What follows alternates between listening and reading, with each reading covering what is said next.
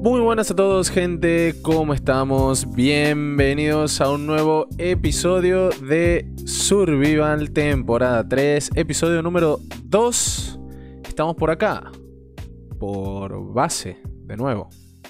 Hoy lo que vamos a hacer, lo que vamos a estar haciendo es, como habrán visto en el título del video, una granjita de Wither Roses y también vamos a estar trabajando un poco en lo que sería la granja de Wither Skeletons. Para eso lo que hice por acá fue un pequeño Nether Hub, ¿sí? Donde tenemos bajada. Aquí tenemos la zona anterior, los portales anteriores. Allá está el de granja de raids. Acá está el de mi base.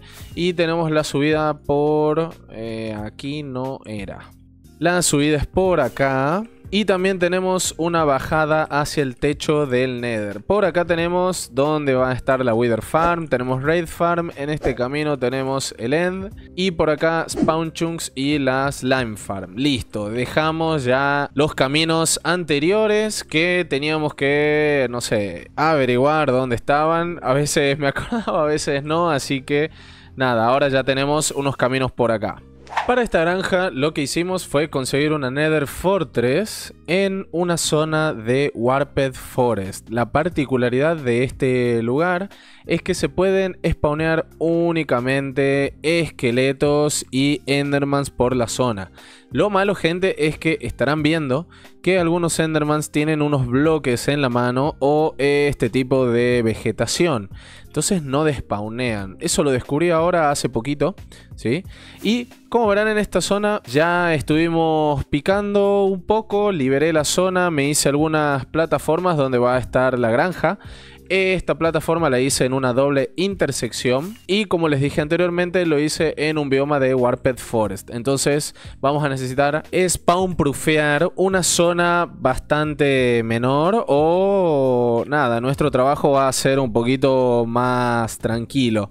Como verán las plataformas las hice de, de Netherrack eso es para luego colocar Wither Roses. Y para colocar Wither Roses necesitamos farmearlas primero. Así que por eso tenemos que hacer primero la granjita de Wither Roses. La idea de esta granja es colocar Wither Roses en esta zona para que el único mob que pueda spawnear en esta zona sean los esqueletos de Wither.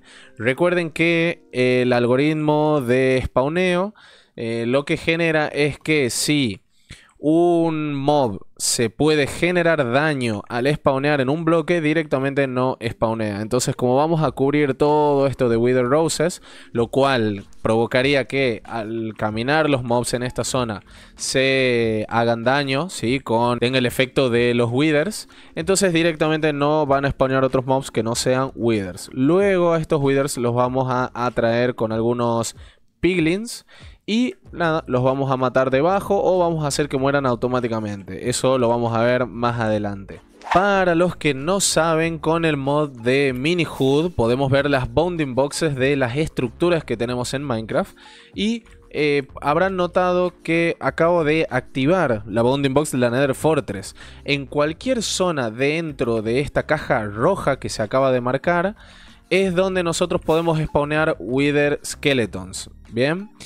La forma de hacerlo es con Nether Bricks. Si nosotros ponemos Nether Bricks en la zona dentro de la Bonding Box roja, van a poder spawnear mobs relacionados a la Nether Fortress. Si nosotros ponemos otro tipo de bloque, por ejemplo, no sé, Nether Warp o ponemos Nilium o Netherrack común en la zona roja, no podremos conseguir ningún spawn de mobs. Luego, para los que no sepan, tenemos estas pequeñas bounding box, que es, las puse de color naranja para diferenciarlas, que están alrededor de toda la estructura de eh, la Nether Fortress, ¿sí? De cada camino, de cada pasillo, tenemos esta caja naranja. Dentro de esta caja naranja, con el bloque que pongamos, ya sea tierra o cualquier tipo de bloque, lo que va a generar es que spawnen mobs relacionados a las Nether Fortress, ya sea Blazes, Wither Skeletons, Pigments, etc.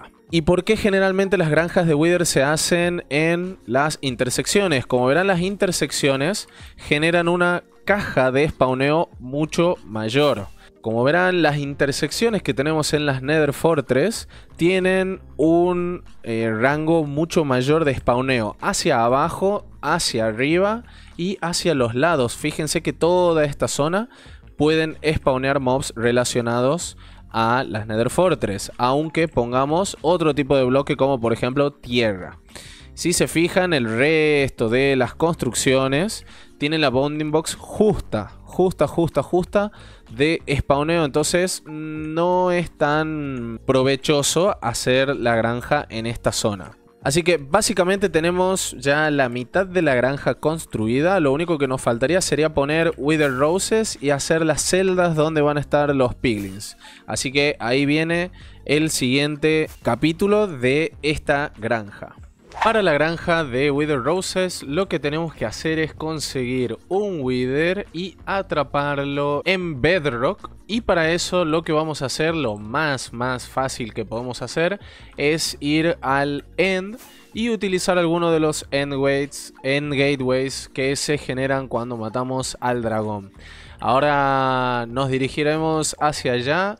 Les voy a mostrar más o menos un par de puntos importantes a la hora de construir la granjita de Wither Roses. Y eh, vamos a ver un timelapse épico.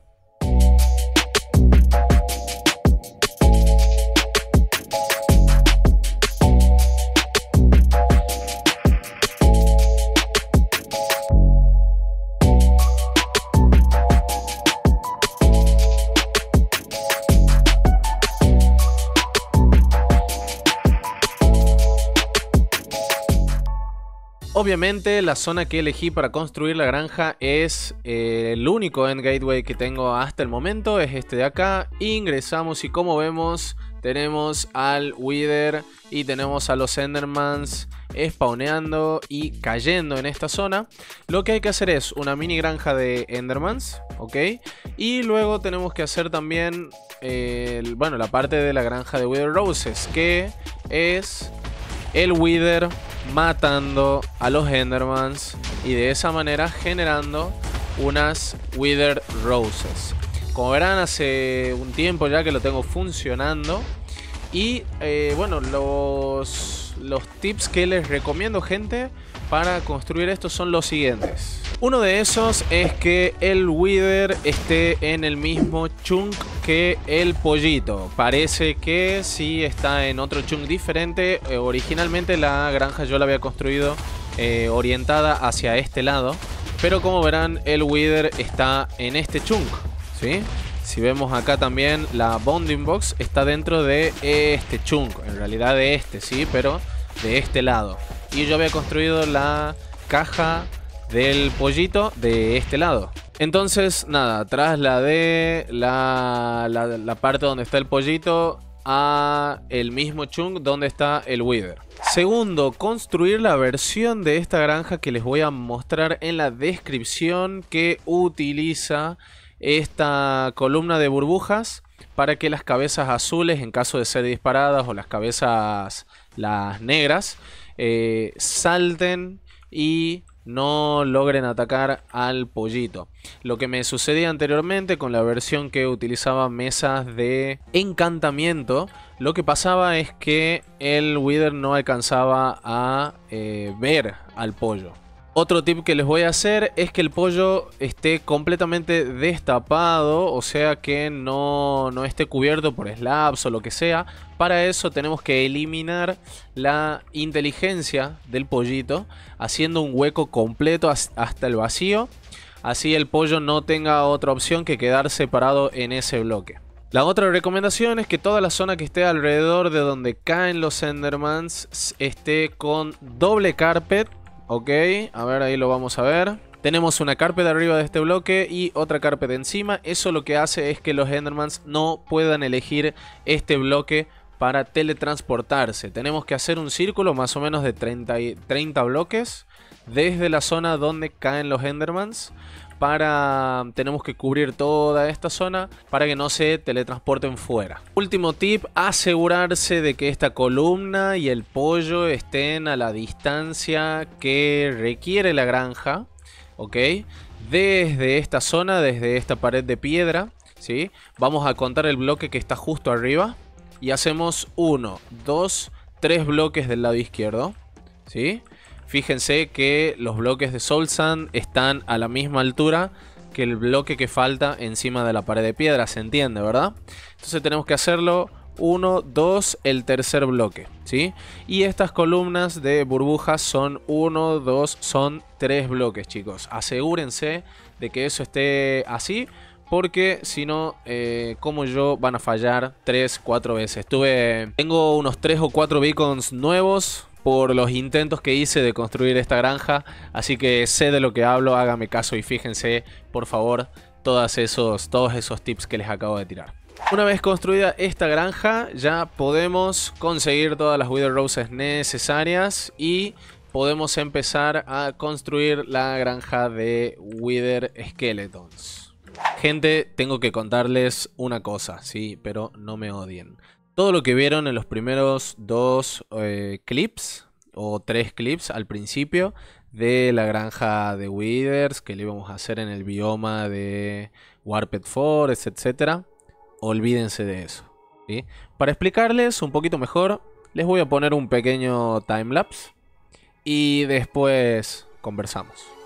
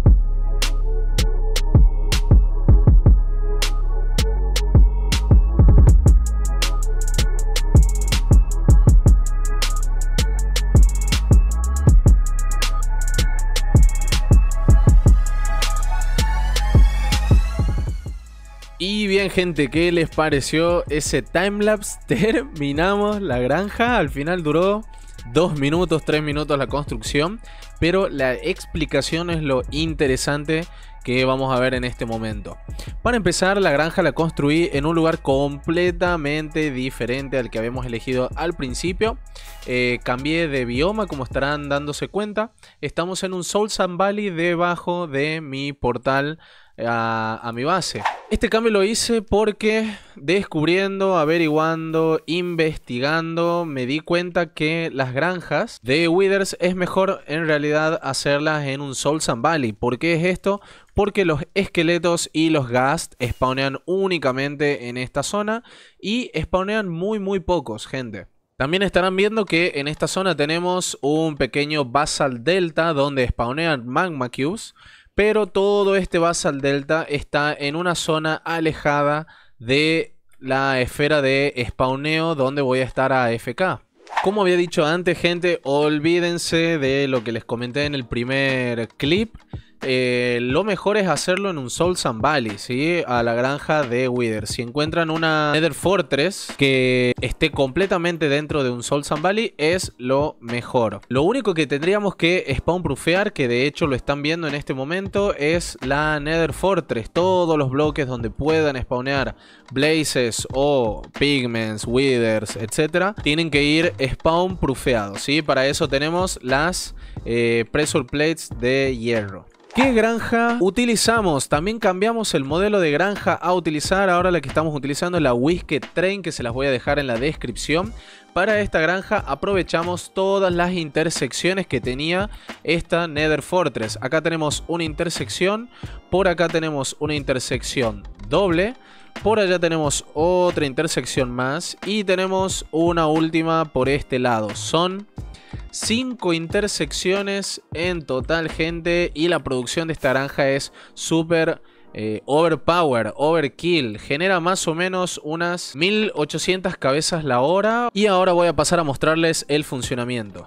Esta granja es súper parecida a la que íbamos a usar en un principio. Utiliza Wither Roses para que únicamente spawneen Withers en estas cajas de spawneo. Y utilizamos Iron Golems, que la verdad que es súper simple meterlos acá en estas, en estas zonas de acá. Entonces se nos facilita mucho más. Al tener únicamente Wither Roses, como explicamos anteriormente, únicamente spawnean Withers en esta zona. No spawnean Blazes ni nada. Es muy importante que en toda esta zona no spawnen más que Wither Skeletons porque si spawnean Blazes y comienzan a atacar a nosotros si estamos volando por la zona o empiezan a atacar a otros mobs, eh, puede romper la granja muy fácilmente. En esta zona todas las Wither Roses pueden quemarse y estamos en un problema.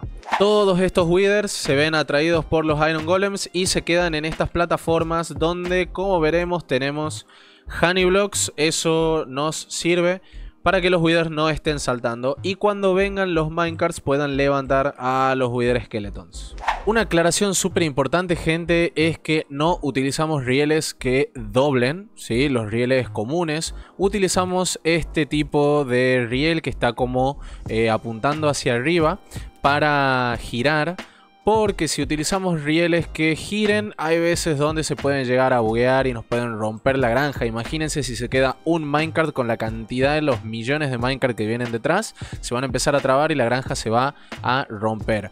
Entonces lo que utilizamos es un riel que lo hicimos subir a este bloque de acá. ¿Sí? Rompimos el riel y colocamos un bloque. Entonces de esta manera los minecarts que vienen por acá van a chocar con este bloque y van a bajar, ¿sí? De esta forma evitamos utilizar los rieles comunes que tienen curvas que nos pueden romper toda la granja. Todos esos Wither Skeletons vendrían por estos caminos de acá. Tenemos cuatro caminos en total y se irían a la zona de matanza que es esta de por acá.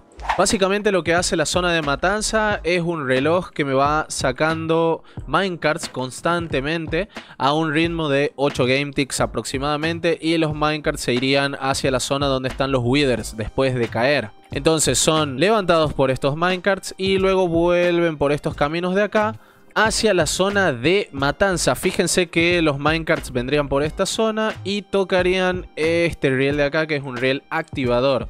Una vez toquen el riel activador los mobs se bajan del minecart y quedarían en esta celda de acá y los que vienen de este lado quedarían en esta celda de acá. Aquí estaría yo matándolos con Sweeping Edge y lo que se activa ahí abajo es el sistemita de recogida de ítems. Lo que hace es sacar Minecart con Hopper levanta los ítems que estarían en esta zona y en esta zona de acá. Y luego el Minecart se rompe con este cristal de acá. Caen todos los ítems por acá.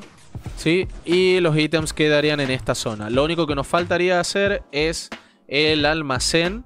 Que eso lo vamos a dejar para el siguiente capítulo, obviamente. La granja se activa con esta palanca de acá. Eso lo que provoca es que todos los minecarts vayan a la zona de spawneo de los withers. Y luego nos quedamos en esta zona atacando al armor stand que tenemos en esta parte de acá. los minecarts, luego de, los, de que los mobs se bajen de acá, el minecart continuaría por este lado y el minecart se rompería en esta zona para ser reutilizado. Esta granjita lo que hace es utilizar cualquier plataforma donde spawneen mobs, cualquier caja de spawneo que la vimos en el principio del episodio, eh, esas cajas de spawneo pueden ser utilizadas al 100% por esta granja. En este caso hemos utilizado 5 intersecciones únicamente, pero podríamos haber utilizado este, esta torre de acá, podríamos haber utilizado estos pasillos de acá, podríamos haber utilizado casi toda la Nether Fortress, pero con unas 5 intersecciones es más que suficiente, gente, se los aseguro. Algo súper importante que tengo que mostrarles es que en esta zona, si generamos una esfera de spawneo acá con el mini HUD de 128 bloques, van a poder ver que Toda la zona de spawneo abarca únicamente el bioma de Soul Sand Valley. Como les dije, los Basal Delta generarían magma cubes que no sería lo ideal, obviamente, porque los Magma Cubes no morirían e incluso podrían meterse en esta zona de acá. Entonces, la zona de spawneo está calculada exactamente para que no se genere ningún Magma Cube. Como verán, acá tenemos una pequeña, un pequeño pedazo de Basal Deltas y eso está spawn proofeado con Pressure Plates. Entonces, si nos vamos por acá atrás, también toda esta zona es Soul Sand Valley y la zona que tenemos del lado izquierdo de la granja también es Soul Sand Valley, gente. Eso tiene que fijarse al milímetro si la zona de spawneo eh, está generando otros mobs en otros biomas. Y lo último, súper mega importante, habrán notado que en todo el tiempo que estuve grabando y dando vueltas por acá no se genera ni un solo esqueleto y ni un solo ghast. Eso es porque tenemos acá un mob switch hecho con striders. Gente, esto es muy extraño, la verdad no sé por qué funciona, pero en la granja, en el video de la granja, recomienda hacer un switch de Striders. Acá tenemos unos 70, 80 Striders y eso lo que genera es que en este bioma se dejen de generar esqueletos, se dejen de generar gas y habrán visto que no se generó ni uno en todo este tiempo que estamos grabando. También cabe aclarar que los Striders se alimentan con eh, Warped Fungus, ¿sí? Y podemos hacer que tengan crías con este bloque de ahí. La verdad, gente, que es súper épico el funcionamiento de esta granja. Lo habrán visto en el pequeño timelapse que hicimos, la cinemática de funcionamiento de la granja. Es Está muy muy bueno verla cómo funciona y la verdad que es una de las que más genera teniendo en cuenta que estamos en single player, utilizamos un solo personaje para cargar toda la granja, para matar los mobs con looting 3 también estamos utilizando un solo jugador. Entonces, teniendo en cuenta esas características, esta granja es de las mejores. Aparte, se puede moldear a la Nether Fortress que utiliza cada uno, así que se las recomiendo gente al 100%. Me dejan en los comentarios qué opinan al respecto y me comentan qué les pareció el video, los timelapse y todo el capítulo en general. Gente, nos vemos en un siguiente episodio, me dejan los comentarios y nos vemos en otro survival. Adiós.